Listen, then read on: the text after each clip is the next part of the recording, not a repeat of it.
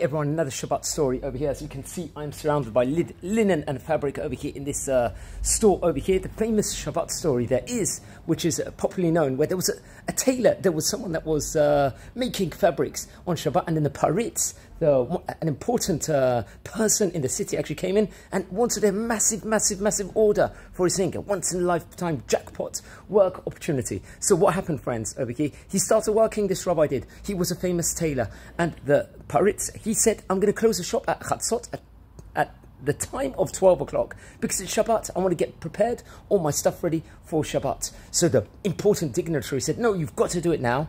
You've got to do it. So the, the man in the shop, the rabbi, refused. He says, no, I'm not going to actually work during this time period. It's about to be Shabbat. The guy said, I'm going to actually, I'm going to threaten you even with your life. But he was stood strong and he said no. He said no to it without any fear. Then Shabbat came in and all of a sudden a guest comes in, in the guise of Eliyahu Nabi.